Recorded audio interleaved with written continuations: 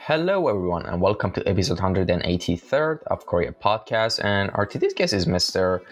Darwin Cellis. He's a digital artist from Las Vegas, United States. Now, with that quick introduction out of the way, let me just quickly mention that in the captions you can find uh, his Instagram ID, the link to his ArtStation for more arts art related if you want to see more of his artworks, and also the link to his Twitter as well if you want to follow him there and you know uh, catch up with his stuff there as well know you can do so. And with that quick introduction out of the way, let's jump into the first signature question of the podcast, which is give us a little introduction on how we got into the world of visual arts and design. Like basically tell us the story of that moment that made you realize that, oh, I want to become an artist, you know? Oh wow, yeah, that's that's that's certainly a heavy one. Um, first off, I want to say I, I, love how you intro the show. Uh, I, I, like how you say episode 183rd. that, that's very unique. So um, uh, let's see. So yeah, no, uh, you know, I'm kind of you know your stereotypical uh, born, uh, you know, born with it artist. It's like I I just loved it from the beginning. I think I started you know uh, messing around with art and. Uh, I was like ages ago. I think probably it was like you know eight, five or six. You know, and I was always doodling and messing around and you know not knowing what I was doing. You know, in, in any capacity, but I knew that you know it's something I enjoyed. I think that I got a little bit of it from you know my father, he was definitely big into illustration and uh, and things like that. And you know, as tech started sort of you know coming online and computers started becoming a thing, um, well, I say computers started becoming a thing because you know I was born in 1979, um, and I was kind of, I kind of grew up with computers like since you know since I was very little. I've I've always been around them. I've always interacted with them. So you know I got into Photoshop super early. I got into, you know, really crappy apps. You know, I mean, I remember using Microsoft Image Composer. If anybody out there knows what the hell that is. Um, so yeah, it, basically anything I could get my hands on. Um, and then yeah, I went to uh, AI, which is Art Institute uh, in Phoenix, Arizona, and I guess that was sort of the first like official like, hey, like let's make this thing serious. And then from there, it kind of just went off. Like, like job after job has always been art related. Um, and then yeah, I mean now I guess I'm in my my 40s and I don't see uh, I don't see stopping anytime soon. So. All right, awesome to hear. And well, here's the thing. Um, I kind of mentioned that you know in the introduction that of course I introduced you as a digital artist, but I mean as you know it's a pretty broad term. Now, what I want to ask you is like you know what exactly do you like? What is your basically a specialty? You know, uh, is kind of you know falls on you know in terms of like you know discipline. Like are you a concept artist? Are you environment artist? Are you or are you a generalist? You know because i i think you're a generalist because based off you know the stuff i see from you. And but i want to hear it from you, your own your own voice you know? Hmm. yeah no absolutely. Uh, i would agree that i think at this point i'm probably more of a generalist because like you know concept art is, is such a specific thing you know like you really have to take a piece through its all its stages, right? You have to, you know, sketch it out, and you have to really think about every detail. And it's it's just a very uh, you know labor intensive process. And you know, I, I I am definitely not there yet. I mean, maybe it's something I, I could do in the future, but uh, as it stands, sort of with my current uh, art, I really just kind of go with the flow and just kind of let the art sort of make itself, if that makes sense. Like, um, you know, I don't really sketch out stuff ahead of time and go, okay, that's it. That's the thing that I want. And then I'm going to, you know, uh, sort of run towards that. I kind of just make a thing and I'll tweak the lighting and go, you know, is, you know, can this be something? Yes or no? And then that'll sort of dictate what, you know, where I go with it. So I, I guess I'm kind of sort of all over the map when it comes to that. So, uh, yeah, I definitely would say digital artist for now, or I guess digital artist slash generalist is the best way to, to, to, to frame it at this stage. You know, possibly could grow into something more, but um, I really sort of started doing this whole thing around the pandemic because, you know, I, I mean, I, I, do have a day job, but this uh, starting Blender and starting, you know, 3D-Coat and all that stuff just really started in earnest, I would say three, three and a half years ago.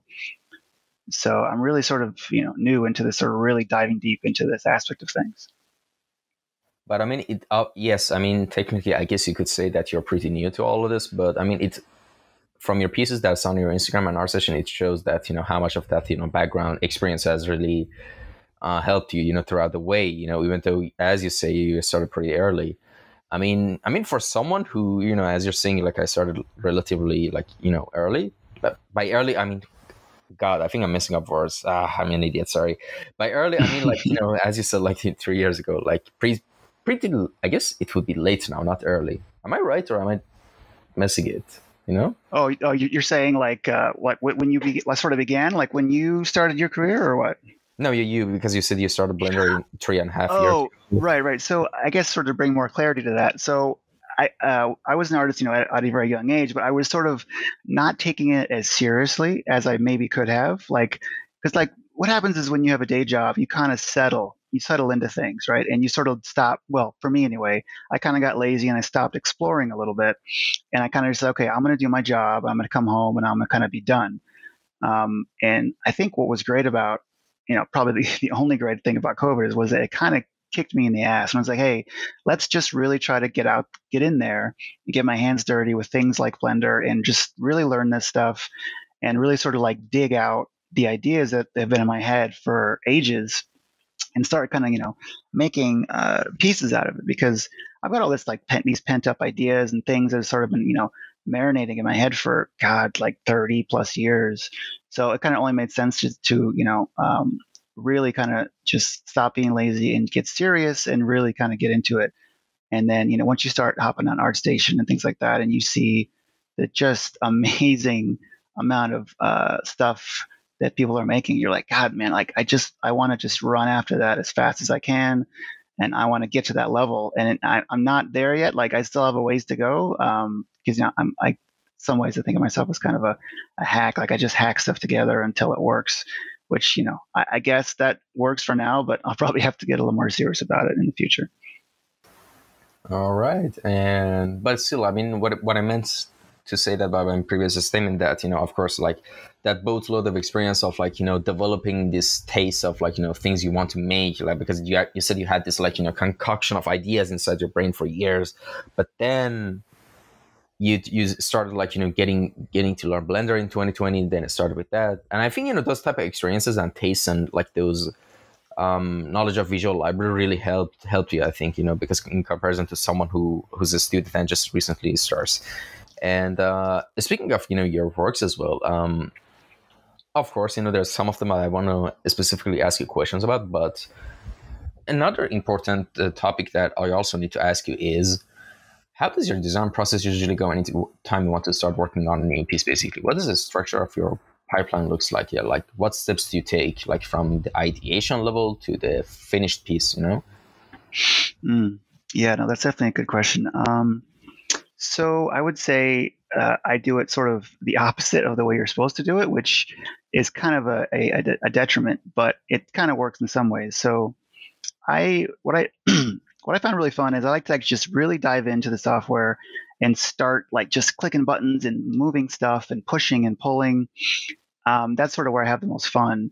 And I think uh, for me, like I'll just sort of have just a just a general idea in my head, like oh, I'm going to have a kind of like a, a vague sci-fi piece or like a fantasy piece, and I'll start kind of like building an asset or two and I'll go, okay, this is interesting. Like I like this like asset that I've made. How can I turn this into something? So it's the completely like wrong way to do it. It's totally like, you know, bass backwards or ass backwards, however you want to say it. Uh, I, you know, what I need to start doing and what I'm doing now, actually, I'm trying to get better at is really just sit down and pre-plan my stuff because, um, you really shouldn't make a piece from like a single asset and work backwards. So like I'll make, you know, I'll make like an orb or like a door frame or uh, I don't know, like a spaceship. I'm like, okay, that's cool.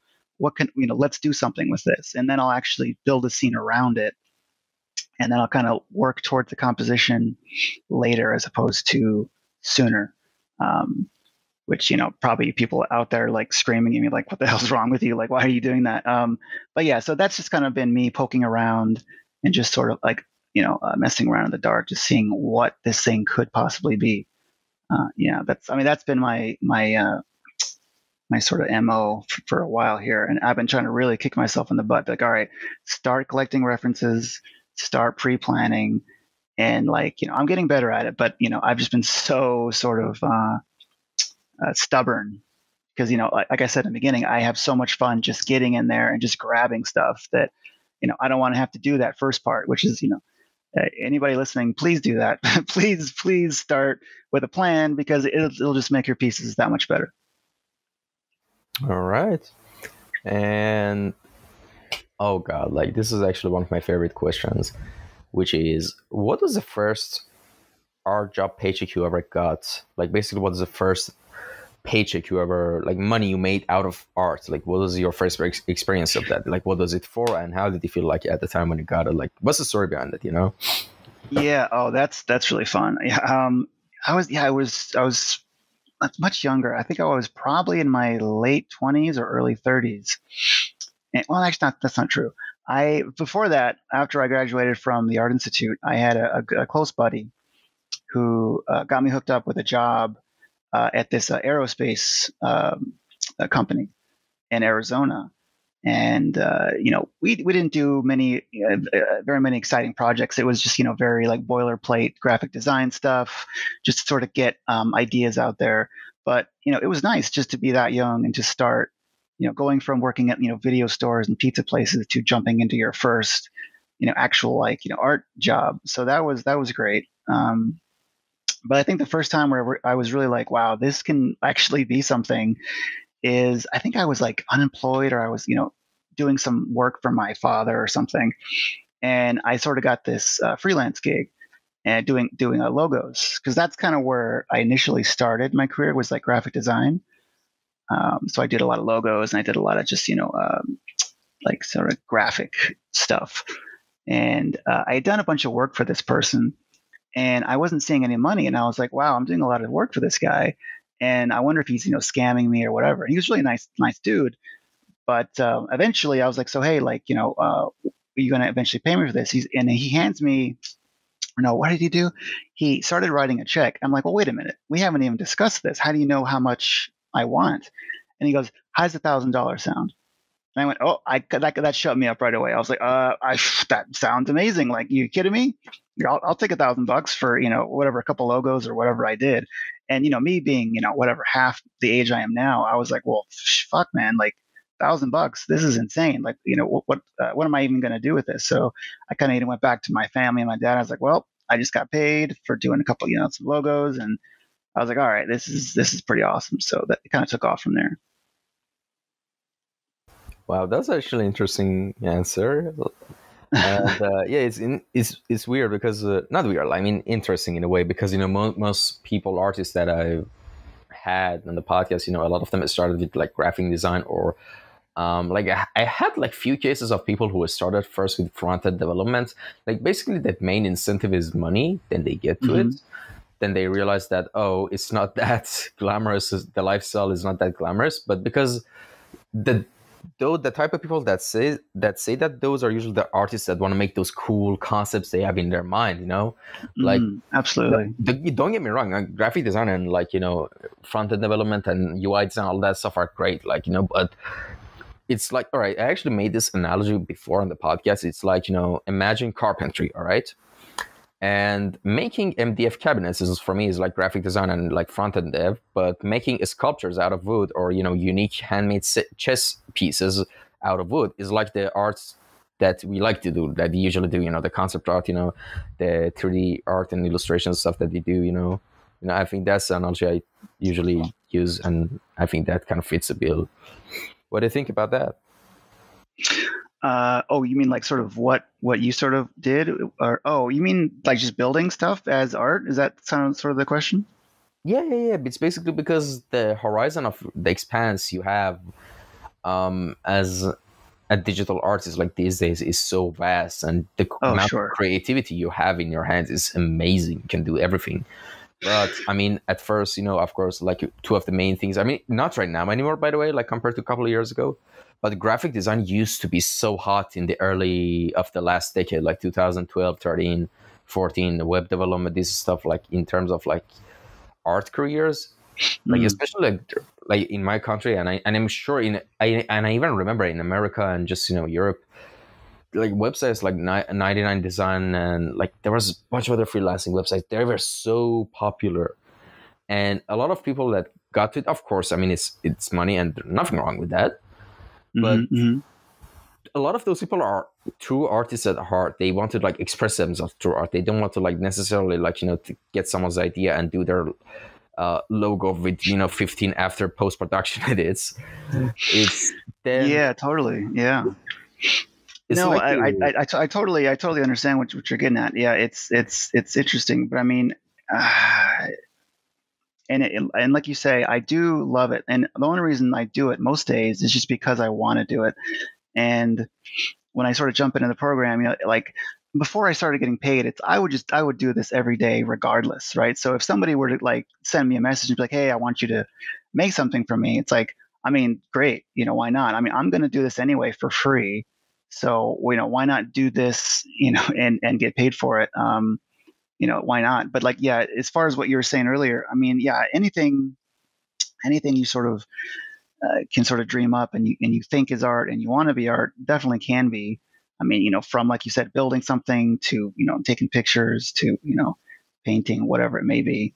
Um, yeah, just, I guess you just gotta you know do it because you love it. I mean, you know, now look at all the all the mess, not not mess, like like look at look where we're at with you know NFTs and and and and the, digital space and and all that stuff. It's just uh, it's wild, and not to mention, oh God, AI and you know, I mean, that's a whole nother can of worms, right? Yeah, definitely. Like there's so many like fun things happening right now, and we're living at such a cool age. And um, all right, so we've reached the section of the podcast which is called General Art Chat, which you know, as I you know mentioned previously, is basically we just talk about different stuff. Right now, of course, there's going to be like more questions after this, but yeah, there's some like random miscellaneous stuff that I'd like to put it for this section. Um, Sounds, so sounds good. like actually i also mentioned like before we start recording like you know actually las you're actually the first guest i have from las vegas and it's actually the basis of one of my favorite games of all time which of course you know i told you before we started is fallout new vegas Mhm. and yeah. speaking of fallout i don't know if you saw the news from todd howard and bethesda did you heard about the their timeline of like you know their big projects like you know what are they developing now what they're going to do next I have, yeah. I mean, and I, I hate to say this, but I'm going to break your heart a little bit. Uh, I kind of, ah, I kind of think Bethesda is a little bit overrated. I mean, I know that they are completely worshipped, you know, up and down. People like think Skyrim is basically like, you know, is is Jesus on a crack, you know, whatever. They love this stuff, and and I know you absolutely love uh, New Vegas, and I know people who just settle into one game for their whole life and they don't touch any other games. And I did, I think we mentioned as well, I did play Fallout 3 back in the day, and it was it was enjoyable enough. But man, I tell you, these guys they need to get a new engine.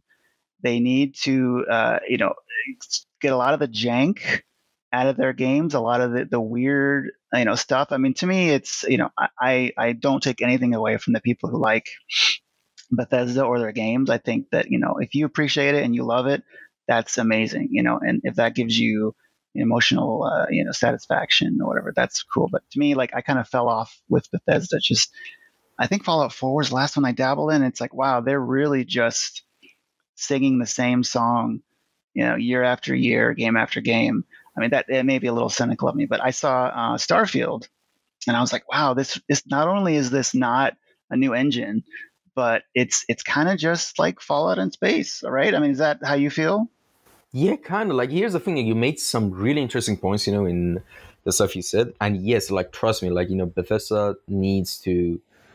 I mean, you. I mean, uh, a prime example is Fallout 76. It was a huge disaster, and it- there was there actually recently, you know, a lot of reports came reports came that you know the staff were under crunch, heavy crunch, like you know, periods, and it was a it was a whole mess of a project. But here's the thing, like you know, of course, actually, like here's a fun thing. Do you know why like New Vegas, New Vegas is different than other Bethesda games? Because it, it was outsourced by another studio called Obsidian. Yeah, yeah, And- and that's that's the main reason people sort of cite in Fallout Vegas is that you know it Exactly. did in fact yeah it got handled by somebody else, which is why it was so much better.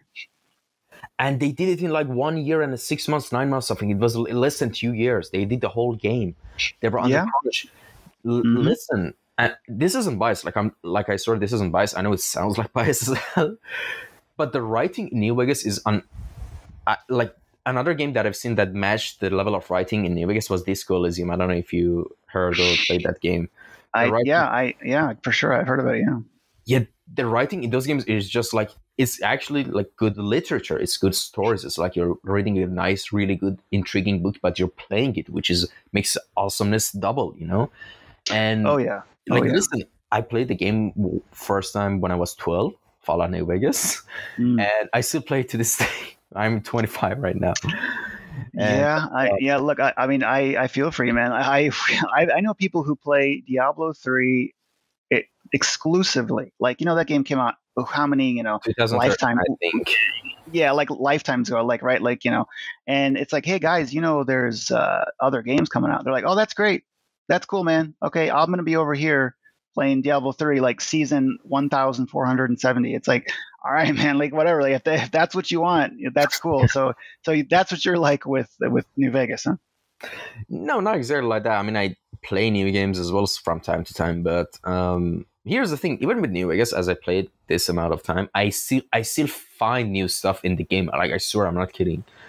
And like like I'm not kidding. New events, new items, new quests. Like and like it's amazing new like one of the things even with fallout 4 listen fallout 4 i played it and it, like before i used to play it it didn't get me so much a couple of years ago but now with an open mind i came back to it.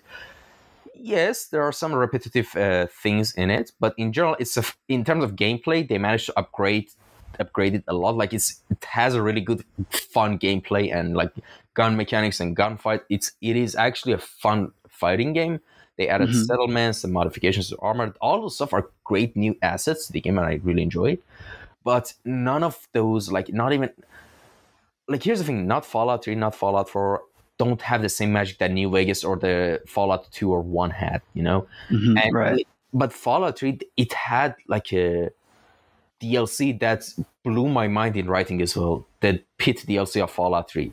Mm-hmm, yeah, it, the writing was just mind-boggling to me. Like I know maybe I I'm not the best person to critique to writing because I know that I'm self-aware that I don't have a huge database of like writing material in my head to compare to. But f- from my own like limited experience, like that DLC, like the Pit DLC and the Fallout New Vegas in general, like the thing with Fallout New Vegas is all the DLCs are interconnected and are additions to the main story of the whole setting. You know, absolutely, which, yeah, which is yeah. amazing.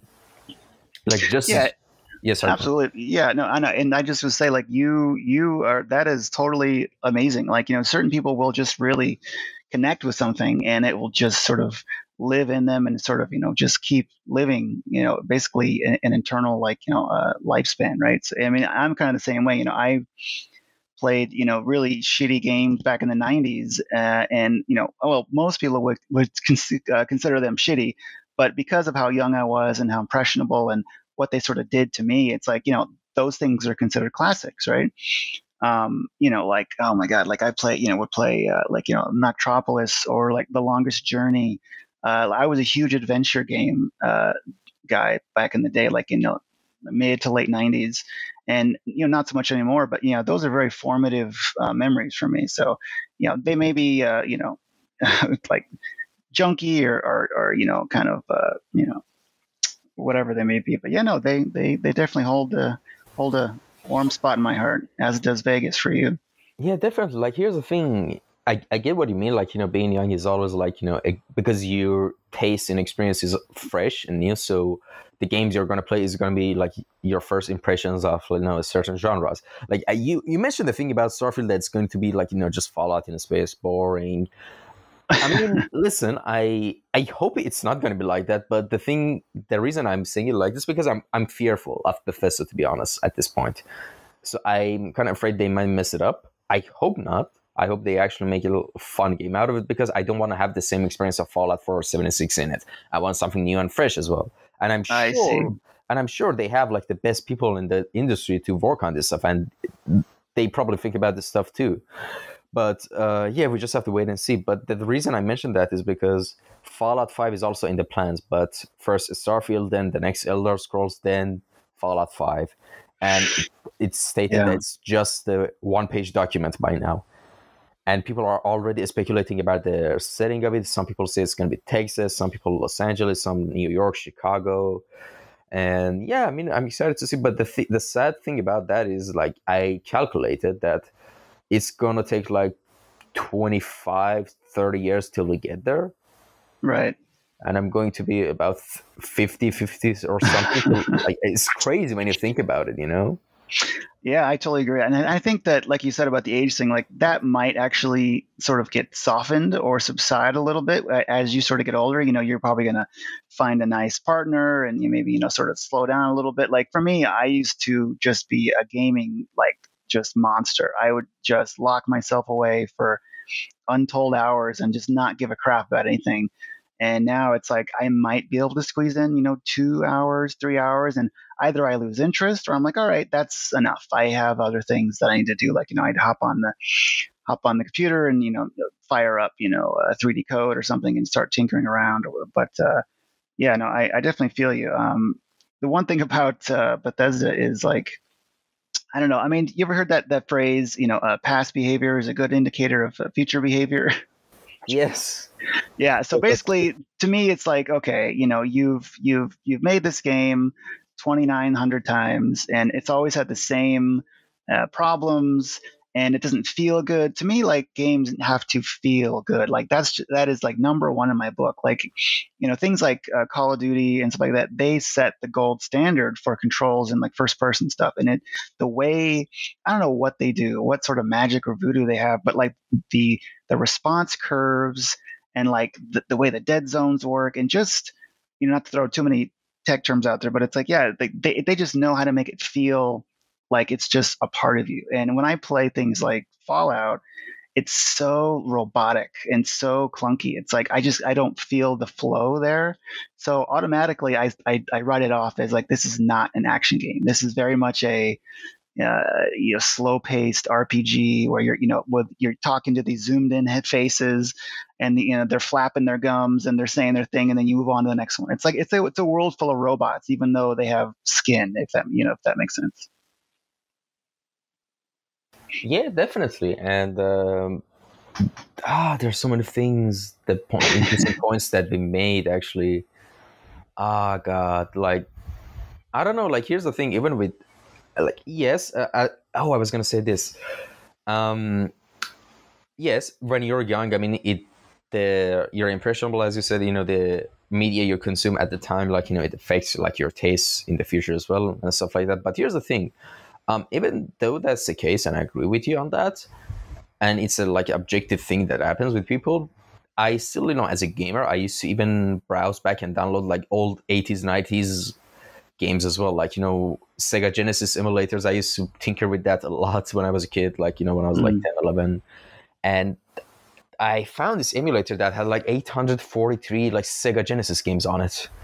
you know, so I was like a I was like, I don't know how to explain that. It was basically, it was like crack to me. Like that's the best way I could explain. And oh my God, how many times I hours I wasted on that emulator. And there was this game, I don't know if you heard about the King's Bounty. It's like an mm-hmm. RPG turn-based game. Have you played that? Absolutely, yeah. The, yeah. the old Genesis, Sega Genesis ones? I wasn't a huge Genesis person, but I have heard of King's Bounty, yeah. And the, the old game, like, you know, even though it was like so different than the like if I show this to any of my friends at the time classmates, like classmates, they would be like, "What is this? Like, you know, old, dusty ass, like, you know, game is boring. it's not doesn't have good graphics. That's what like the most casual, basic gamers would say. Like, Jesus, like, why do you care? Like, the game is fun. The gameplay is fun. The setting is cool. Like, it was oh, literally yeah. 2D animated sprites moving on a like a flat animation. It was so basic, but it was so fun. Honestly. Oh, absolutely. I mean, we like back in the day when we played. Uh, I don't know if you're familiar with the Sierra catalog, but like King's Quest, Space Quest, uh, all that stuff. No, no. Um, because well, you were in two camps, like back in the '80s and '90s, whatever. Like you were a Sierra person, or you were a, uh, a LucasArts person, right? LucasArts, like you know, you know Monkey Island, uh, Maniac Mansion, any of that stuff. Uh, but anyway, so I guess the moral of the story is like.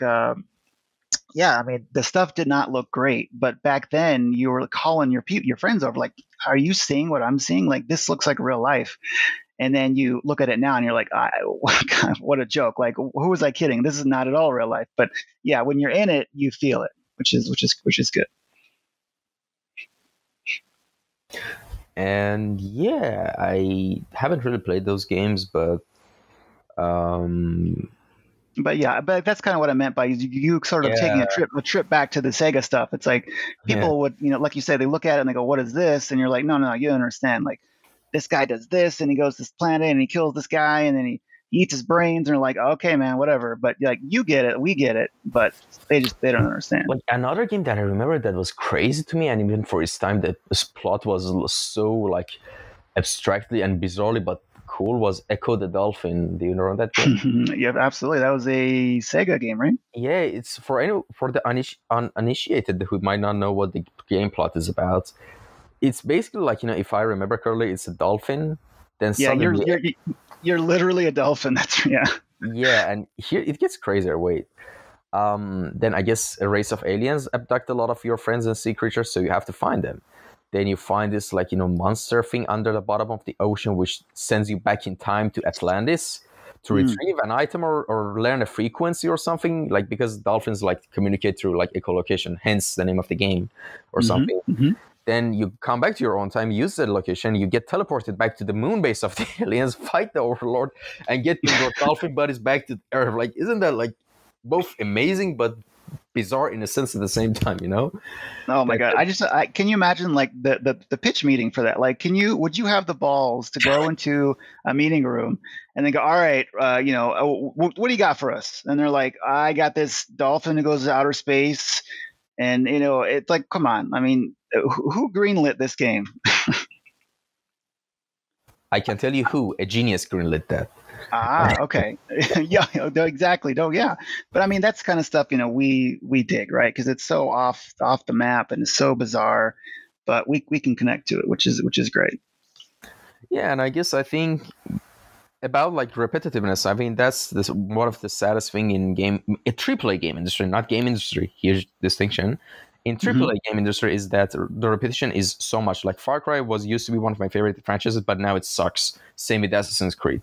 Maybe mm-hmm. that's me. I know this it's a subjective opinion. Like you know, I know I'm sure there will be people who's who are going to like disagree with me, but Far Cry sucks right now. I get I get it. The art, the concept arts are good. The art direction is good. Art art related stuff, the music, sound engineering, all that stuff, good. They're improving, mm-hmm. but the game in general is just a basic formula that they just oh, it's just discussing. You know the whole thing how AAA industry is like you know milk a cow till it's dry. Mm-hmm and exactly. playing the same game but with different characters. Yes, technically I know that's the whole point, but I don't know, like make it some somehow make it make it difference. I don't want to feel like I'm playing Fallout 3 like a mod of Fallout 3, you know? It's like the every Fa- Far Cry game, oh, I said Fallout actually, I meant Far Cry. Jesus.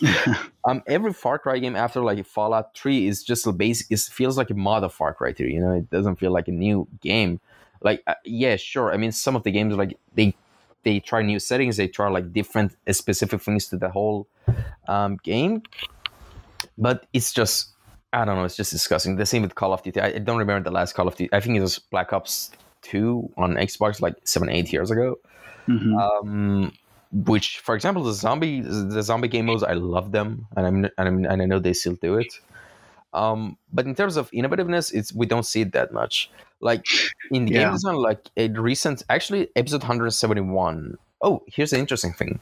For anyone who's listening, you're probably wondering like when this episode got recorded. They were recording this episode on July um, 8th, like 8th of July, but your episode is actually this is episode 183. All right, actually, I'm telling to you as well. Um, your episode will be uploaded August 19th because I, there's a lot of episodes to be uploaded before that. Gotcha. Uh, okay. Yeah. Yeah, and um, of course, I will send you the links to Spotify and YouTube versions whenever it's uploaded and ready. And the thing is, like you know, wow, it's like it for at least 40 days till it get uploaded. Jesus, that's crazy.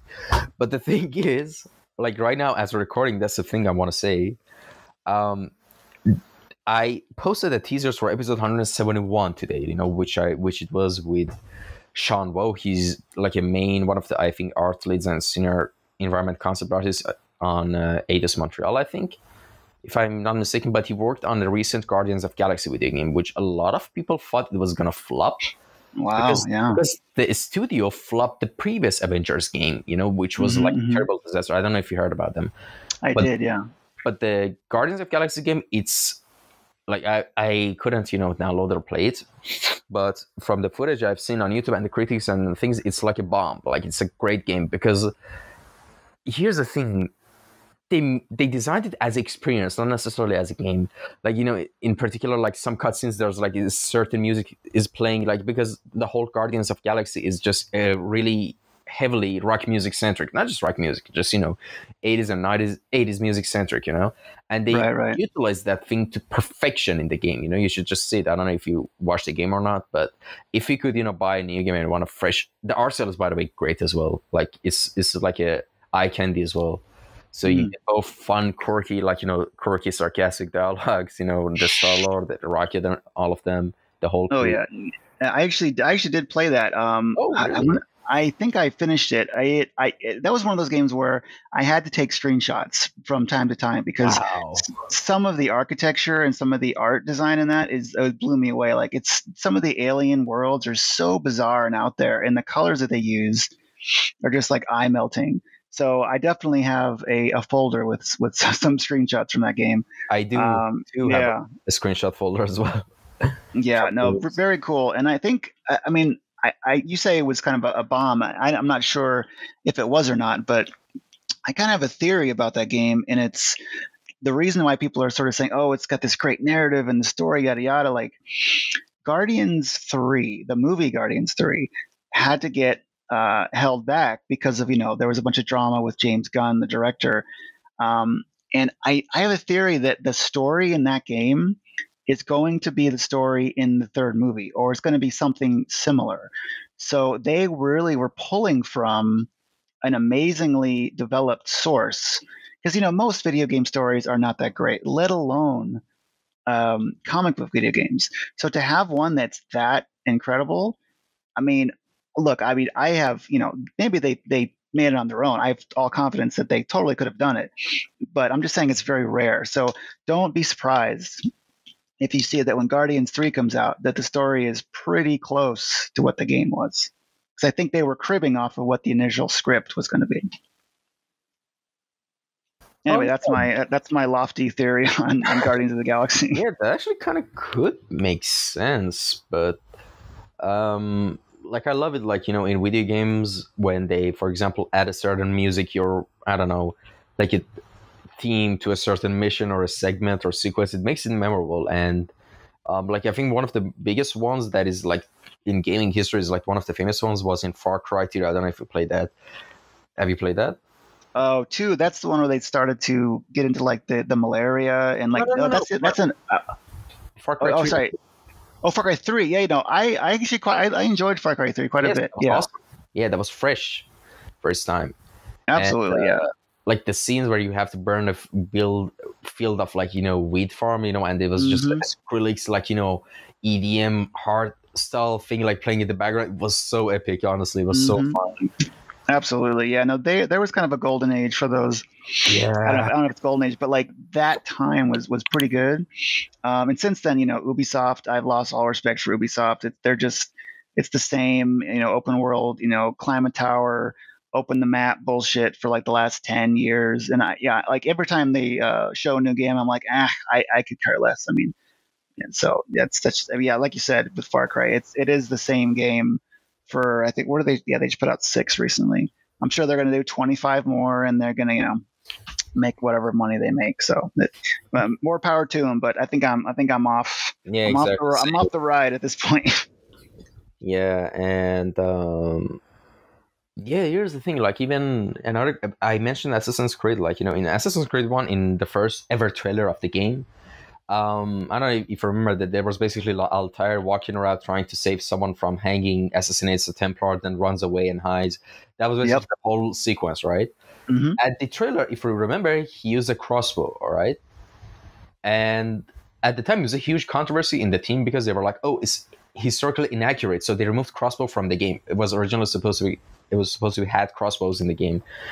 But here's the thing: they did that, but then here we go to like you know Elder Scrolls. No, wow, why did I say Elder Scrolls? Jesus, my brain is lagging. um, like then we go to Assassin's the recent trilogy of Assassin's Creed. There we have fighting Medusa, the mythical creature. Then like Norse mythology, they throw that in your face as well. Like, what is going on? Are you guys? It's as it as if it seems like they're going for money as much as they can now.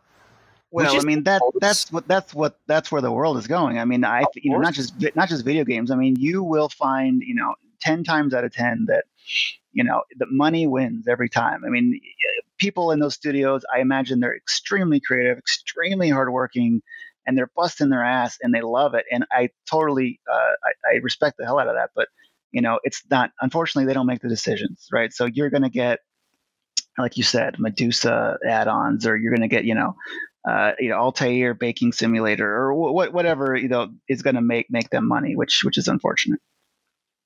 Yeah, the thing is, um, by the way, like when I say you know they're going to all anything that makes money, like don't get me wrong, like of course, I mean all the artists, the artists that you know work on those teams, you know, deserve all the credit and you know the reward they, you know, they earn. Don't get me wrong, absolutely, but absolutely. I despise it when the balance gets like you know kind of unbroken. That they have enough money, or they try to like you know get like you know get scammy. Like for example, EA or Activision. What was it like? They're trying to involve NFTs in Call of Duty as well. Oh boy, which was yeah. weird and like the microtransaction system and like basically when you sacrifice actual good gameplay like fun, genuine, like the authenticity of a franchise over money, that's like when like you're basically ruining the legacy of a franchise. But I mean, who who gives a shit? Because as long as you know the people are the directors or producers get more money, you know, that doesn't matter. We're going to kill a franchise. Ding, ding, ding, ding. Disney Plus, you know, and there's like ruining Star Wars and everything. Of course, I'm not a huge Star Wars fan, but I don't follow. But I but I hear the cries of a Star Wars fan every time you know there's like a new recently um, Star Wars movie, they're like they're basically saying they're butchering and bastardizing the whole franchise at this point, uh, which is yeah, of course it's yeah. not out of like you know the realm of reasoning at this point from these people, and um, yeah, I mean I hope that doesn't happen to Fallout. Oh, oh my god. And, well, I mean, yeah, I, I, hate to break it to you, but I, I, think I think it already has. Unfortunately, I mean, yes, I mean, I mean, yeah. like you're talking about, you know, creativeness and creative bankruptcy and stuff like that. I mean, the fact that you're doing like a Marvel style rollout schedule and they're saying, hey, we've already planned out to, you know, 2049 in these games. It's like, all right, guys, I mean, maybe, maybe, you know, hit the pause button, go in a dark room and, you know, really search your soul and be like, okay, well, what do we want to make next? You know, what do we like? But, you know, as, as we said, unfortunately, you know, when money's on the table, it's it's hard to sort of uh, get the stuff off the ground. I mean, it, it's a fine balance. You know, you're balancing it on the tip of a sword, right? It's like you if there's no money, there's no game. If there's no game, there's no money. So, uh, but I think unfortunately now the uh, the scales are unfortunately tipped in you know the wrong side. But uh, you know, it's it's it, it sucks. I mean, what do you what do you do, right? But all this negative stuff aside, like I, I'm still really hopeful, you know, for not just Fallout, like just you know, especially I'm for Fallout, you know, because the thing with franchises that have a lot of passion and soul into them, they don't die. And what I mean by that, when you make actually a product out of passion and you put your soul in it, other people will notice it, you know, not mm-hmm. necessarily mm-hmm. like you know intentionally, but unintentionally as well, like because it, it always shows when a quality of something, you know, if the producer or creators of them like actually put love into it. And Fallout 2 and 1, New Vegas especially, are those games, you know. And just Fallout series in general. I mean, of course, there they, it had its own hiccups and upsides and downsides, but all, all in all, it's a pretty good setting, you know, fictional setting, honestly, to be honest. And it has a lot of potential still. And what I'm what I'm going to get to is this that when you do that, you're going to have a huge community and audience to back you up all the time, you know? Mm-hmm. And that community starts to make mods. The modding community of Fallout, just all Fallout games are insane. And recently, they a new mod had it's a game-sized mod called Fallout London. It's mm-hmm. a mod of Fallout 4. It looks absolutely amazing. They made right. a lot of stories, and even Bethesda hired a lot of those modders. You know, that's amazing. exactly, exactly, and that's you know, you you know, if I were to ask you why why do you think those modders did that in the first place, what, what would be your answer? It's, it's, not because it's, it's not because of money, right? It's because they love this this this game and they want to get their hands in there and they want to you exactly. know they want to make something exactly. So, you know, if if I guess maybe I guess what I'm saying is if the the uh, the big game companies would actually take a note out of their their their book, you know, a little bit more. Obviously, you know, you can't do it, you know, you know that much, but yeah, I think they they would be in a much better place. Um, Yeah, no mods are incredible. I mean, look at the Dark Souls community. Look at uh, oh god, Dark Souls. No. hell, any any of these communities. You know, these people just get in there because they're passionate about it. I mean, not just that. Even let's say not passion, but out of like you know wanting to um, get hired by Bethesda, which will happen for a lot of them. If you want to get hired by a big company, you should show great work, and great work doesn't. You can't engineer great work. I mean, yeah, technically you might say like you know you could, but trust me, it's not. That's a part of it, but yeah. the passion should be there. If it's not there, I mean, like, come on, you know, who are you kidding? But the thing is, like, if it Fallout London, which uh, they actually managed to get for voice actors a lot of the recent previous Doctor Who's, you know, which was super fascinating to me. They did a tremendous job on the they even the factions that was in London. Like, it was. I'm I'm super excited for it, and um, like yeah, even Fallout New Vegas has a lot of mods. They even right now they're trying to make Fallout One and Two in Fallout 4 engine, and even New Vegas. This is the craziest things, you know. And yeah, so, so I mean, you really see you, you definitely have a very strong uh, attachment to to the Fallout stuff. So what what do you think uh, sort of makes that makes that a thing for you? Like, like what what why does it stir so much uh, enjoyment in you? Like, what about Fallout do you like?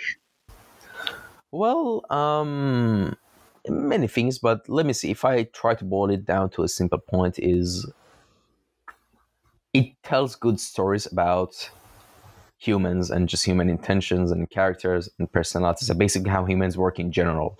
Mm-hmm. And about it says a lot about like the events and the different characters and the, especially factions even um, tells a lot about human nature in general and it and it's something interesting to see because it's like the the world is a clean slate now and everyone's going to start anew.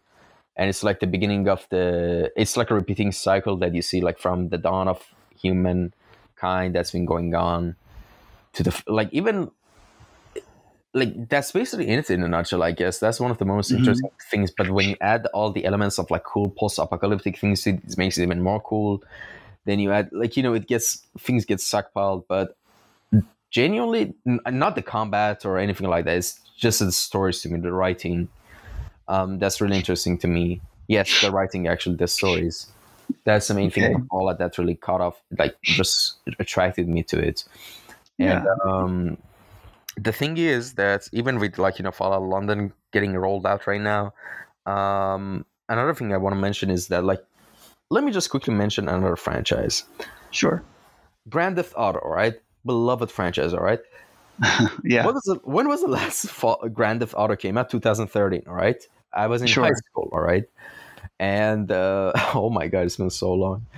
And um, from then till now, not even rumors has like, of course, rumors are there, but I don't think it, the next Grand Theft Auto is in development. Maybe I hope it is, but like the thing I want to say is, Grand Theft Auto Five, great game. Don't get me wrong.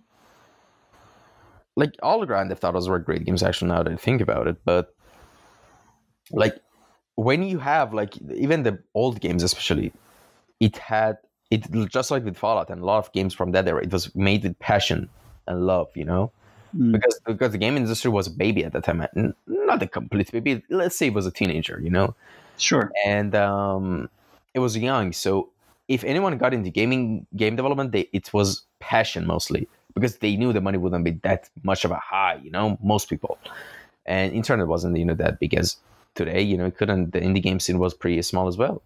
So the people that did the games, they did it with passion. And as I mentioned, like just like with the Fallout point, why do you do that? You get the community, and when you get a passionate community, you get a lot of modders. They want to keep refreshing the experience with new additions, so they can just, just keep playing the same drug. You get get those of the game they like. And oh my god! Like I saw this Unreal Engine remade GTA like remasters of like GTA Vice City, San Andreas, and three, I was like, oh my, this is so awesome. Yeah, yeah. And yes, but for example, like honestly, do you think like I don't know, Call of Duty Modern Warfare, like I don't know, three gets that same treatment in twenty years? No.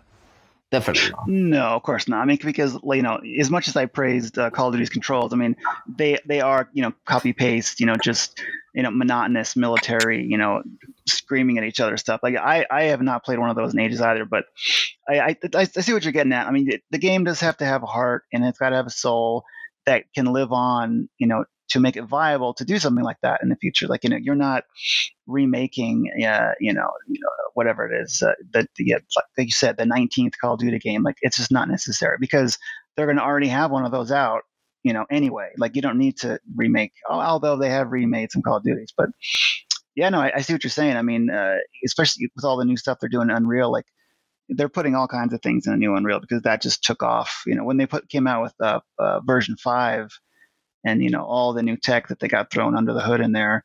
You know, why not? You know, like with the Matrix uh, demo that they put out, with uh, you know all these new experiments that they're doing. I think it looks great. I mean, presentation goes a long way you can have a pretty uh, boilerplate uh, experience. But if the presentation, for me at least, like I am a presentation uh, horror, for lack of a better term. Like you know, being an artist, like I, if a game is like old school, like oh it's oh it's pixel art and it's like it's this indie game, it's like I it just doesn't do it for me. Like I need, you know. Well, I don't need, but I, I love bleeding edge graphics and I love presentation, and that to me is is really important. So, yeah, no, I, I think uh, you know everything we're saying, you know, with GTA and remakes and stuff, it, it's very exciting. It's just you know you, you do have to have the the guts to uh, yeah, or the exactly. core, the, the, emotional core to make it uh, make it viable. Yeah, don't get me wrong. Like you know, presentation is important for me as well, but the thing is mentioned about like these generic indie games, like they try to add like pixel art things to make it pop, like as a nostalgia factor for it. Like it all feels so forced, honestly. Oh my god, that's the first. That's the first thing I see. Like when I see that, I'm immediately I'm I'm clicking off. Like don't give yeah. me this d make you know, hash, blah blah blah. Like I mean, that's great. I am not a um, I'm not a multiple time you know game player. Like people will play games over and over and they'll go back to games 10 15 20 30 years ago and like I can do that for 10 minutes and I'm like, all right, I'm good. You know, let, you know, I'm, I, I remember now. and then, and that's it for me. Like, and I cannot just, I can't stew or in that, in that uh, nostalgia that long. Yeah, exactly. And, um, yeah, but of course, sometimes you get gems in, in the games as well. Like, there's, there are a lot of them. Like, you know, that there's so much that I can't even, it's weird when your brain gets frozen when you know a lot of things, but none of the names come to your mind. You know, I'm mm. kind of at that point now. But um, yeah, like the like the recent indie games actually that I played that I had a lot of fun. Which the game was super simple. Like I don't think you played it, but Human Fall Flat was one of them. It was a super fun multiplayer game. Mm-hmm, yeah, and uh, I don't know if you did you play that.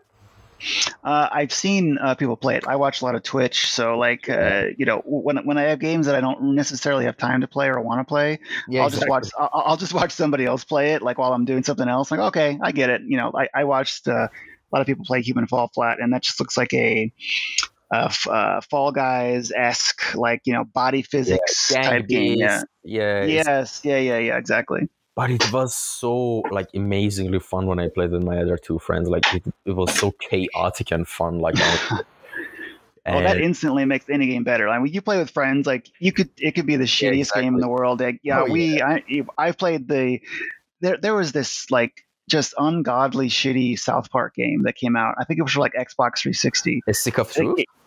no, this is way earlier than that. It was like a oh. flat 2D like side scrolling thing. It was garbage, but get two or three friends in there.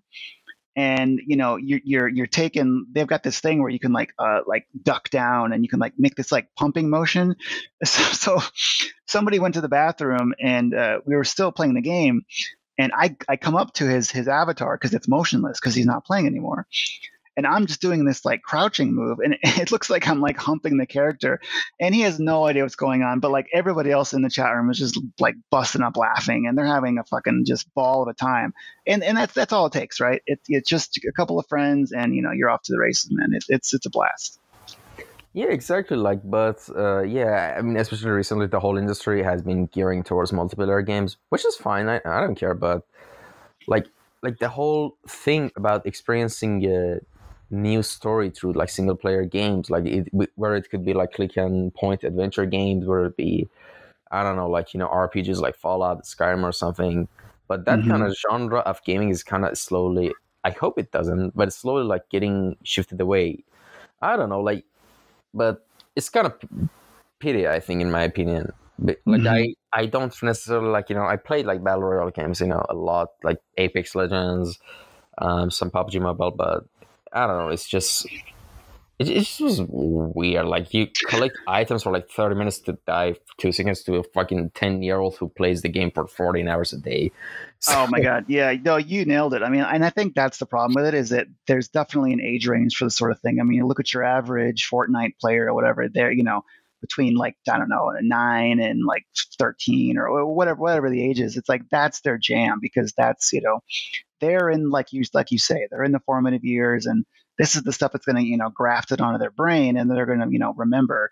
I i mean which is i mean it's it is great but it's also kind of sad. Like you know 20 30 years from now they're going to be talking to somebody and they're like man games used to be awesome back in the day. Remember fortnite? And it's like wow.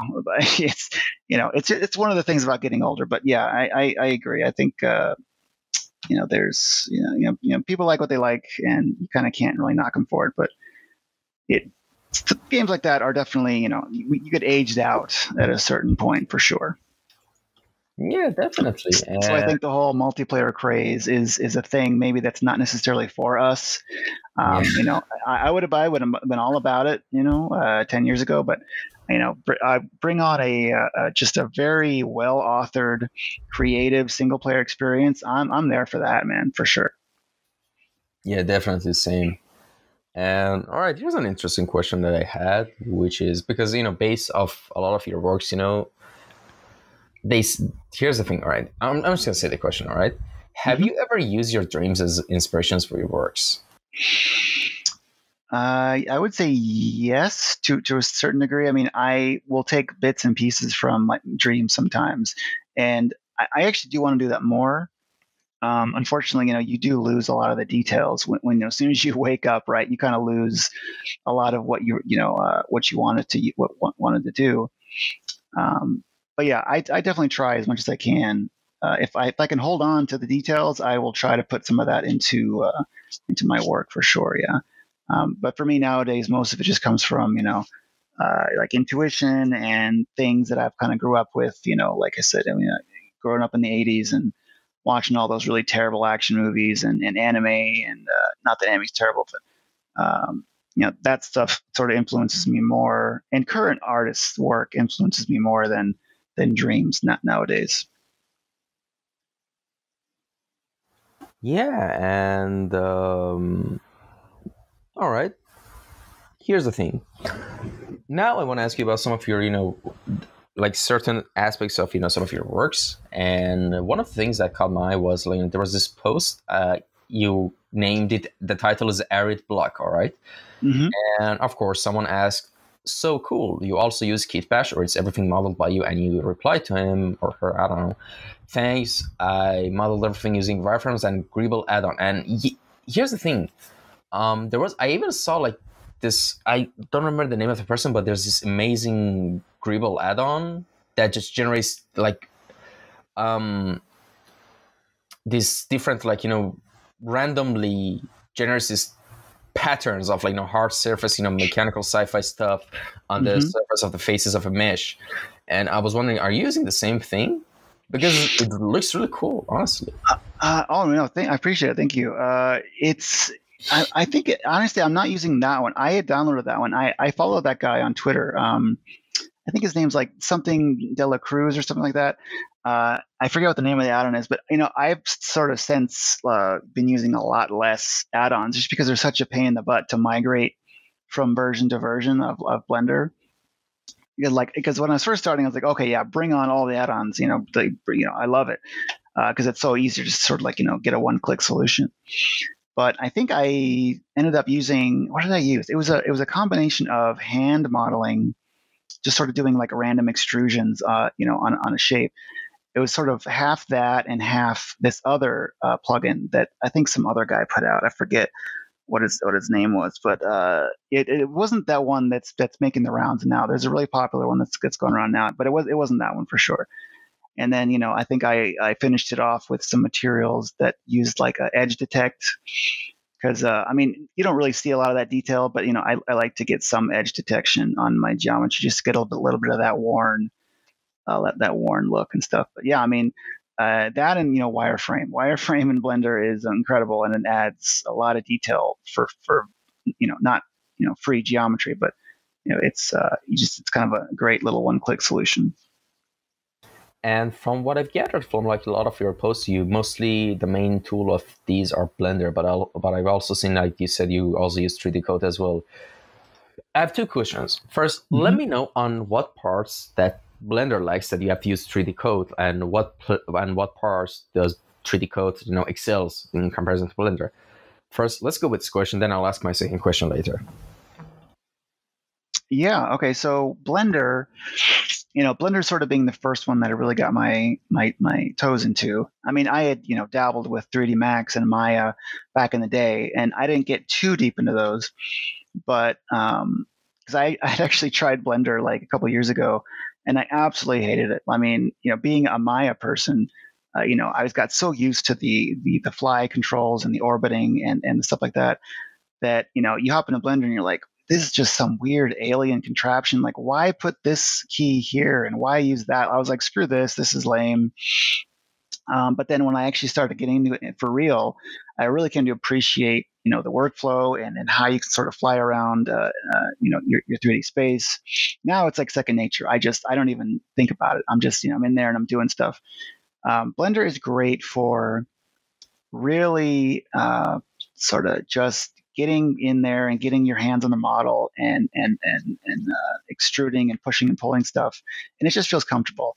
And setting up scenes, setting up lights, getting sort of your environment all sort of laid out how you want it, and you know, and atmospherics and fog and all. So it's just so much easier just to get sort of all the kids in the pool, if that makes sense. Um, and with things like 3D Coat, I that's a very singular uh, um, software application. Like I just sort of build like organic assets and um, and sometimes non-organic assets, but it just feels so good to cut away on an object or sculpt an object.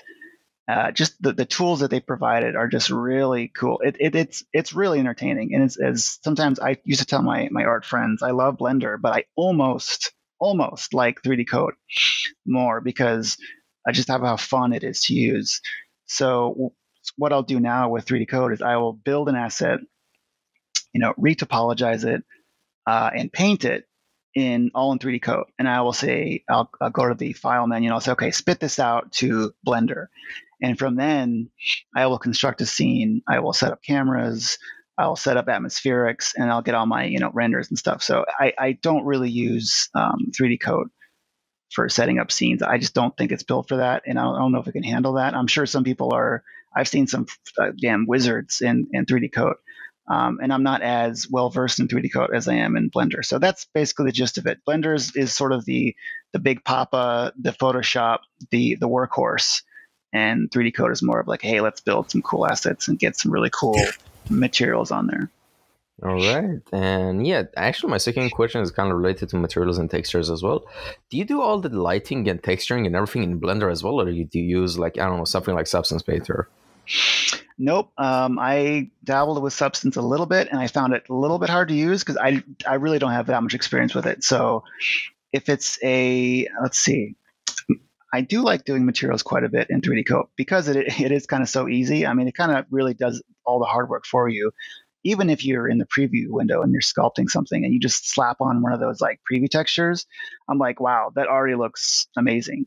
You know, let alone uh, spitting it out to retopologize and putting it going in the, into the paint room and really getting in dirty with the details and really like, you know, okay, here's where the dust is going to collect and here's where the, where the shadows are going to be and the highlights and being able to just set that so quickly and easily is, I love it. So, uh, you know, not that I don't, um, do materials in Blender, but I just I think uh, 3D Coat is just so intuitive and so fun. All right, interesting. So you kind of you basically you take do texturing in 3D Coat as well, right?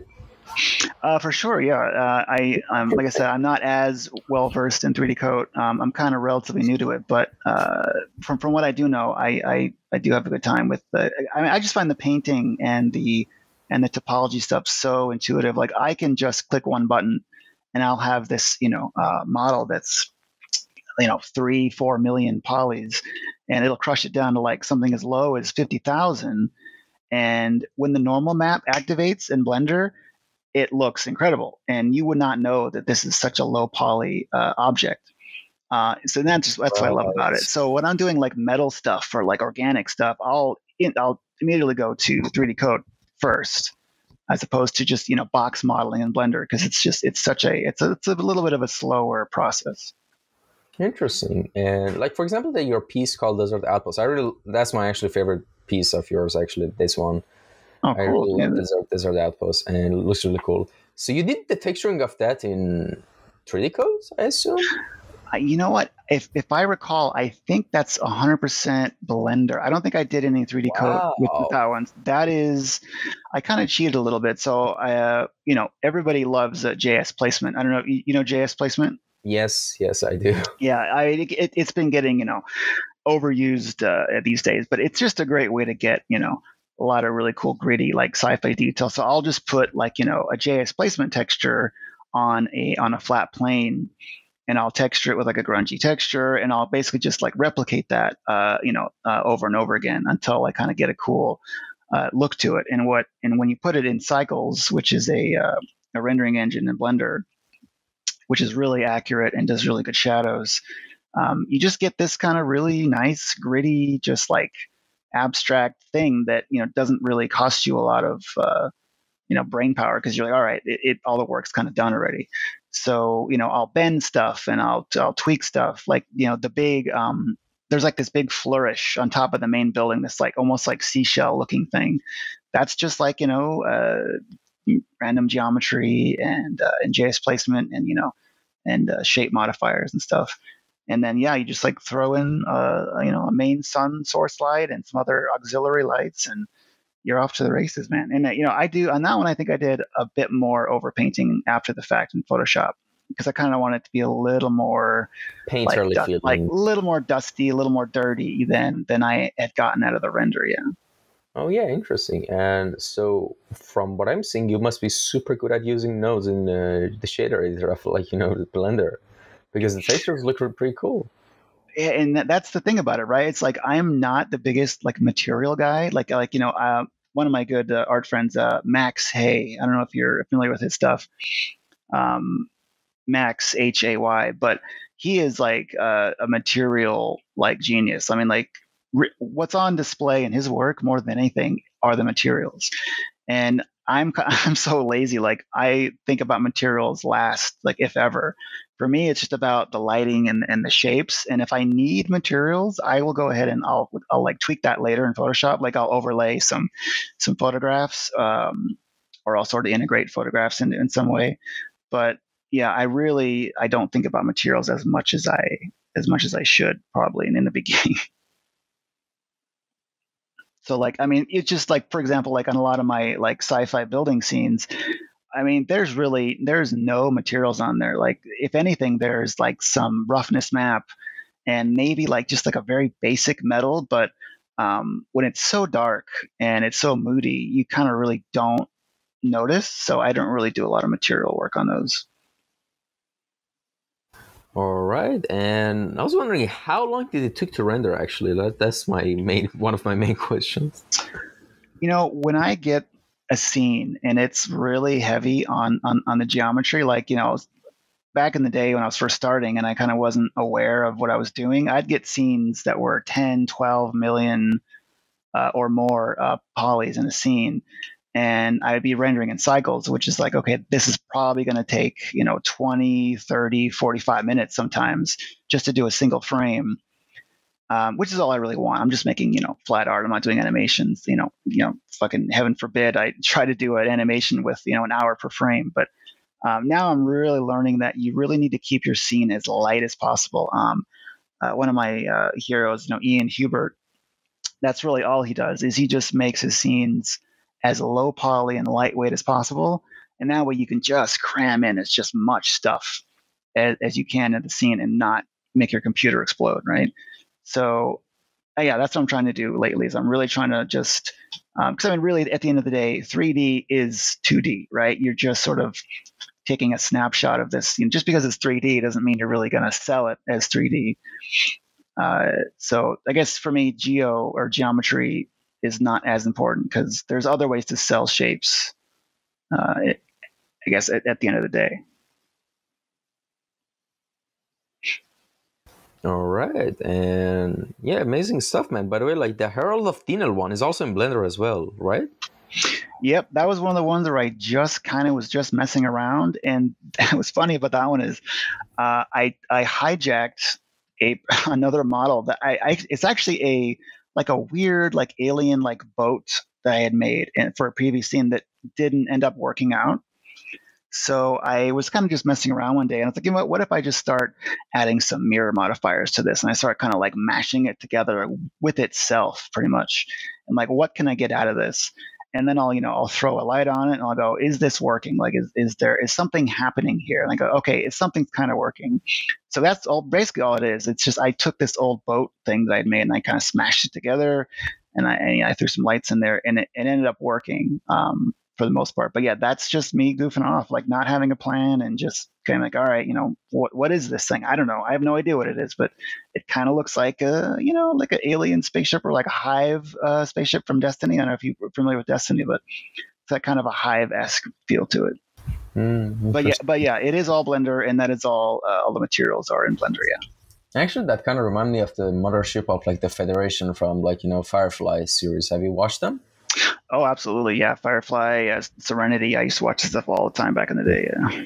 That's like, listen, one of my favorite genres ever. Like, one of them is like post-apocalyptic, but not the necessarily the dark, grimy, depressed post-apocalyptic. The fun, happy, solar punk, uh, the good ending type of so post-apocalyptic. You know? Oh yeah, absolutely. Yeah. I mean, I, I would put Guardians of the Galaxy there. I would put, uh, you like, well, it's not as sci-fi western as like Firefly is, but yeah, it's like you know you got this sort of like uh, plucky, like swashbuckling, like rogue type character, you know, and he's kind of like a wisecracking dude, right? And he's he's got his guns and he's got his he's got his his homies and he's you know they're having fun in space. I mean that's that's that's a great genre for sure.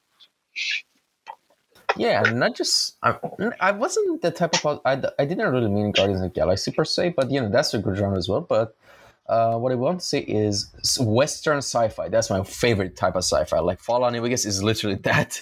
So oh, Firefly, for sure, absolutely. Firefly is that? Cowboy Bebop is that? Like I, I. Oh yeah. I'm a sucker for that genre. Honestly, like it's. I think I don't know. It's one of the like the principles of like design is like the con.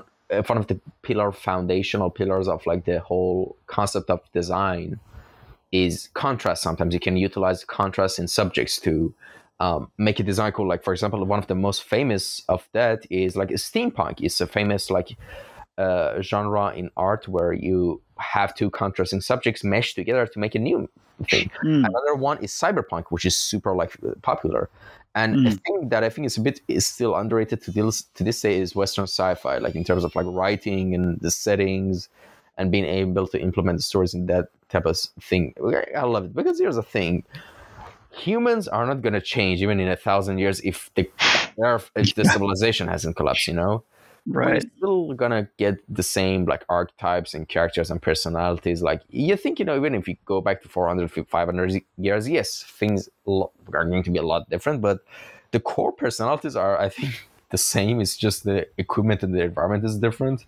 So i think the thing that it is really i think you know relatable for me in those genres like Western sci-fi is that they keep that piece of like humanity intact in them. They don't try to like bullshit you with, you know, oh, it's the future in the year like two, 2700 and humans are like this and that. They're like, no, humans are not going to change that much. Let, let me be real with you, you know? and yeah, I guess that's my subjective opinion, but I, and I'm sure people are gonna have like different opinions. But yeah, that's the thing. No, I, I think I think you absolutely nailed it. I mean, that's that's sort of what makes good storytelling, right? Is I mean, no matter what set dressing you put on a thing, uh, it's only going to be as good as you know the you know the heart of the story and and the, and the human characters. So uh, you know, I think like when I think of like uh, Minority Report, you know, that Tom Cruise movie, uh, that Steven Spielberg movie. It's like, yes, the the set dressing and the window dressing is sci-fi, but at the at the heart of it is just it's a very human story, and you know, with with you know, human uh, you know archetypes and human values, and that's at the end of the day what makes it resonate with you. It's not you know, pew pew laser guns and spaceships. I mean, that's extremely cool, and it's it makes your eyes and your brain very happy. But you know, like you say, you know, the, the human part is what really makes it last. Yeah, and um, oh god, like I love this subject. We've been talking about video games a lot. Like I could talk about video games honestly for ten hours, like in a nonstop. And say, and, you should you should make a, a, a video game podcast. No, I'm kind of like you know, like here's the thing. I'm kind of cheating the system because instead of like making video game podcasts, I just, just talk about video games on my art podcast. You know? yeah, no, hey, that that's that's great to me. I, mean, I I deal in all these sort of realms. I love it. I love you know how um. I love how games talk to art and how art talks to games and exactly. movies and stories. I mean, I really think about it. Video games is everything we love about you know they all rolled into one. You know, you've got stories, you've got music, you've got you know uh, interactivity uh, art it's just all slammed together in the same same thing so yeah i think if you don't like video games you're you're, you're missing out on something yeah and um, yeah definitely and here's the thing if one day i, I don't know like uh, i'm sorry it's a personal question but do you have kids uh, nope, I don't have kids. Uh, well, I, I, say that I have kids, but I, I have uh, I have six cats. That they're my children. Oh, awesome, awesome yeah. But here's the thing, like I want to say, like if one day I make I get the opportunity to actually find like form a family and have kids one day, I hundred percent like this. I'm not kidding. Uh, one of I would make make my kids if they want to play games. I would definitely like you know introduce them to RPG games of like whether it be Skyrim or Fallout games or anything that's relatively in the same genre but new, because as a 12 year old kid, honestly, first of all, it improved my English a lot. All right. So like because I'm from Iran originally, I'm not. I, I don't know. A lot of people have this misconception because I have like American accent. I'm. I don't know. I've been born in America or just outside of Iran, but the, I'm. I haven't set foot in an English speaking country ever in my life. It's just wow. out of, it's just out of me games and music and internet and all of that. Honestly, that's awesome. That's awesome. And, yeah. yeah. And the thing is, um, first it, and here's the thing: it's a really fascinating medium to learn about stories and learn about different like archetypes of characters. And it's it's like i don't know how to explain it. It's just it's good life experience i think the way i would put it you know? In a good oh, way yeah, game honestly like absolutely. I mean like you, you're not alone. I mean a lot of people use you know movies and television and, and games. Yeah, exa- oh, exactly. Yeah, and they use that as a gateway to you know to not only entertain themselves, but yeah, they learn uh, you know, different cultures, different languages. Uh, yeah, that's, I mean, great. I mean, there's no reason what not to do that. I mean, why, why jump into a, you know, a boring, you know, app or a book that's going to try to tell you to speak a language? That just seems like the wrong way to do it. You know what? The more I look at the Desert Outpost piece, the more I like it. I actually, after this recording, I'm going to share it on the stories of the podcast. But that's that's a really cool thing. Really, honestly, I really like it. Awesome, man. Yeah. So, and I think one thing about that one too is I, I do, I use Daz from time to time. Uh, it's a, you know, it's like a humanoid, um, uh, what do you call it? You, you can make like, you know, characters. Um, oh, so, right. so if you, if you see, uh, characters and I want to say like, I don't know, probably 90% of my pieces, that's, it's usually Daz. And, um, I try to keep it pretty simple, right? Just like you see in the desert outpost scene, there's like crowds of people and, and like little, you know, figures kind of walking around. A lot of those are like overpainted Daz figures or, and some of them they're actually photographs. I'll like, you know, get photographs of like crowds and I'll just stick them in there. But uh, yeah, I mean, I, I'm, I'm glad you enjoy that one. That one, that one's interesting. You know, I, I, I do like, I've always sort of enjoyed deserts uh, type scenes. I mean, even when I played old video Same, games, like honestly, I love deserts for some reason. Exactly. Yeah, I, I, don't know what it is. I mean, I, I, I mean, I grew up in the desert, which I don't know if that has anything to do with it, but um, like even like like I played uh, Xenogears back in the day, like, and I always loved when you because you know they've got like different like hub towns, right? You've got your your tropical town and your lava town, but it's like I always gravitated towards the the sandy desert town. I just liked them. I don't know, that was just me. So like if, if you see like you know desert uh, being a theme in my work that's that's that's probably why yeah and God damn, I, I think we're on the same boat on this because I'm the same. I love desert environments. I love. I think it's mostly because Fallout New Vegas. Honestly, to be honest, that's the main culprit. Oh, okay. Um, oh, that's right. Yeah, because I, whenever you say Fallout, I just, oh, I picture what was the last? Wasn't three like uh, Boston or Washington or something? But you're Washington. right. Like, uh, Uh, you, but yeah, no, you're totally right. Vegas desert. I mean, that makes total sense. Yeah, exactly. And like, listen, if I one day come to Las Vegas, I'm going to be that idiot running around trying to find the same landmarks that was that were modeled in Fallout New Vegas and trying to make. Oh my! I know, like that's so funny you say that because like you know when you see like stuff in a movie or games, you're like, oh, New York, you know, blah blah blah, and it's it's so great and grandiose. But you know, if you haven't if you haven't been there, there's a certain I don't know. There's like a fantastical element to it. Like, oh, wh- wh- where is this far off place? It's like all you got to do is you know hop on a plane and go there. But um, yeah, like when places, uh, or rather when, uh, yeah, like video game environments take place like in a place where you're at, it's it's a little, it's interesting because it's like wow, like I literally can just go there like right now and touch that landmark. Uh, it's yeah, it, it, it's it's bizarre, very bizarre. Wait, and there's even like a little town called Goodsprings near Las Vegas. Is that true? I had never heard of Goodsprings. That might be a fictional. It might be a fictional thing. Uh, I I don't know because I saw. I think it's, a gas station like that small level of Goodsprings, but it's actually because I think I saw photos and videos of Goodsprings, and there was a plaque outside of it that says, and it said, yes, this is the Good Spring that was you know inspired by that New Vegas got inspiration from. So like the huh. places like Primm, Novac, and stuff like that. I think they're based in if I'm not mistaken, real life places. yeah, I mean, there's there's a you know they got to obviously be careful with that stuff. You can't just say oh like because you know, we we have chains and and branches out here. I don't think legally they could use that stuff, but I mean, I'm oh, not. Yeah. There very well could be a Goodsprings. I just I'm not familiar with that name. I mean, uh, but uh, yeah, I'm sure you know a lot of the big time stuff is definitely here. Like if you you know go to the Strip or you look at the Las Vegas sign or uh, hell, even you know some other some of the other cities, you know, they're they're probably all here and they're probably represented somewhat in the game. Oh god, like I in my head I just I'm just imagining going to different places in Vegas and I'm just having a smile on my face. I don't know. This game like listen, I, am going to be 90 years old in like some sort of like, you know, um retirement home or something. I'm, I'm I, I, I swear, like I'm not even kidding. You know, and I'm sure I'm still finding new stuff in the game as well. And yeah, this, that, that to me is incredible. Like the fact that you can still find new stuff. I mean, I don't even. How old's that game? Is it like late two thousands? Two thousand ten, like, I think. Yeah. Oh wow, two thousand ten. So yeah, I mean, if you're still finding stuff now, then shit. I mean, you might as well be finding new stuff when you're ninety. I mean, why not, right? Yeah. And uh, but here's the thing that I genuinely love about like Bethesda. One of the one of the positive points and it, which is the amount of dialogues, especially for Fallout 4, they like hit it like it was amazing. The amount of dialogues that is in that game for every single possible like you know outcome and things, and whether if you have a like in the same outcome, if you have like for every companion you have there, you're gonna have a unique dialogue. There's so many dialogues in that game. I'm mm-hmm. amazed. Mm-hmm. I love that.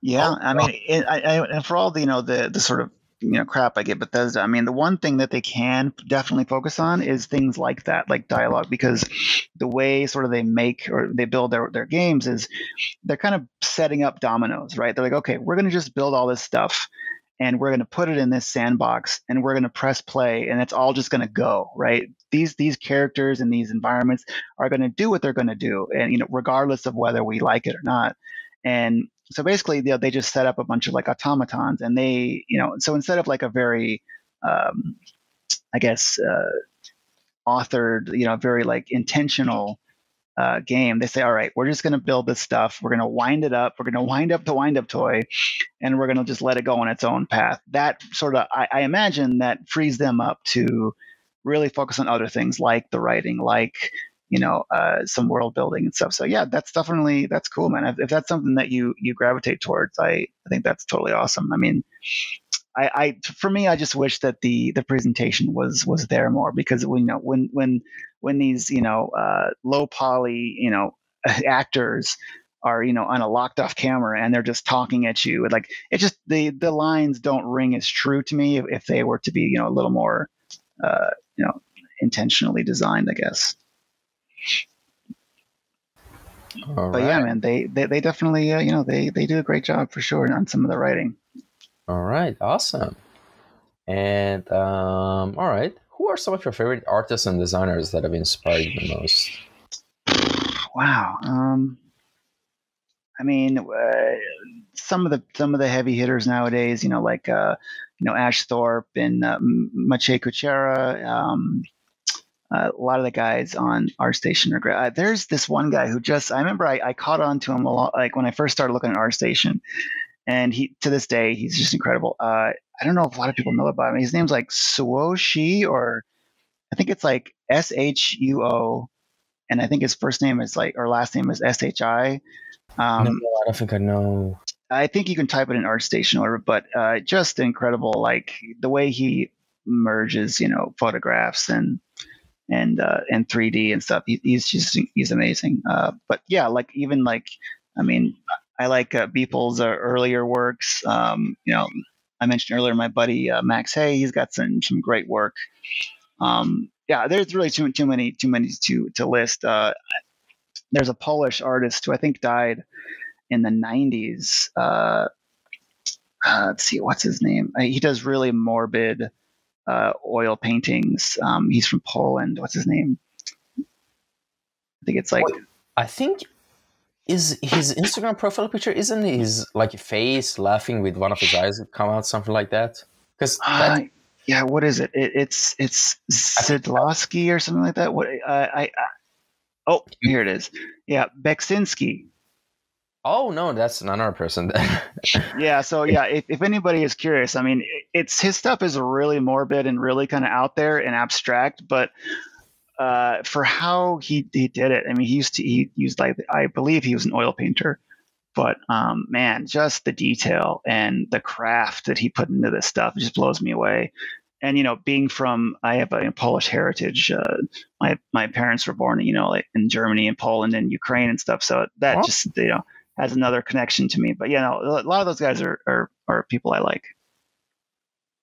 All right. And um, what area beside the area you're working on right now, which is of course art and design and all of that, would you be interested to explore and learn in the future? Like basically what I mean by that, aside from art, what other hobbies or aspirations or things you have that you want to do in your life? Hmm. Uh, I'd say when I was uh, younger, or uh, maybe uh, I'm talking as maybe as early as 15, 20 years ago, I was obsessed with with film. I mean, I still am to a certain degree, um, but I wanted to be a director for the longest time. I was like, man, just the emotions and putting music to to certain moments in in, in film just what how that made me feel it's like i i want to do that you know i used to I, you know love action movies or you know now I've sort of grown up. I like a little more dramatic stuff, like you know, like you know David Fincher movies and uh, things of that nature. Um, yeah, that that's what I I was for sure. I'm like I'm gonna do this. Like I want to be a director, you know. And I would, you know, I would get the camera with my my buddies when I was a kid, and we used to run around and we used to make stupid little little action movies. You know, they were complete garbage, but uh, you know, I, I just wanted to do it so bad. Um, I mean, nowadays, you know, it's it seems like quite the mountain to to overcome. I mean, making movies it just seems like the hardest thing in the world. But I think now I'm I don't know I'm pretty happy with what I'm doing. I uh, I think art is is amazing, and uh, regardless of what I'm doing, every day I'm looking at ArtStation and I'm looking at you know Instagram, and I'm just I'm trying to you know get in, inspired, and I'm trying to you know find you know new guys to follow. And I think uh, I think this is definitely what I'm going to be doing for for the foreseeable future for sure.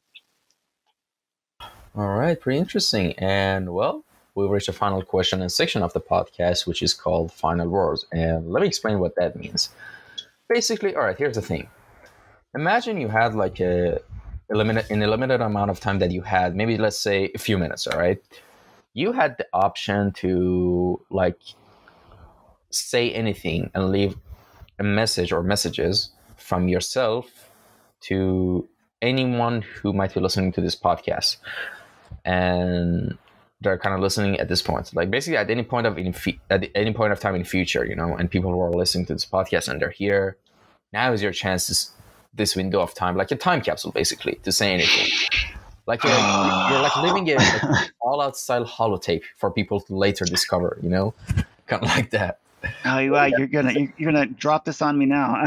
um, exactly. Yeah, no, this is yeah, it's it's it's pretty heavy. Um, wow, what would I say?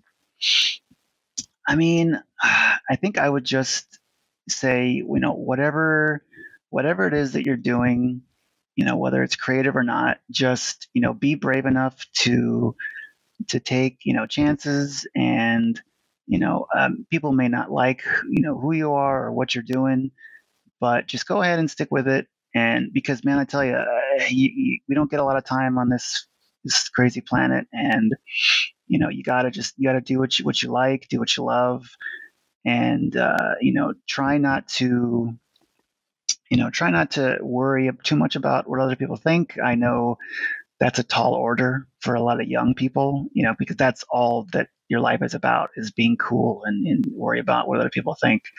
Um, you know, I know for me in my art, it's like, uh, oh, I got to make this thing a certain way or look a certain way because that's what's cool and that's what's expected. But if you, the most, uh, you know, engaging and the most sort of uh, amazing artists are the artists who kind of say, you know what, fuck it, I'm going to make this crazy wild thing because I want to make it, not because you know, uh, not because it's it's what's in or what's now. And I guess yeah, that's pretty much it. I would just say, you know, you have an infinite amount of power inside you.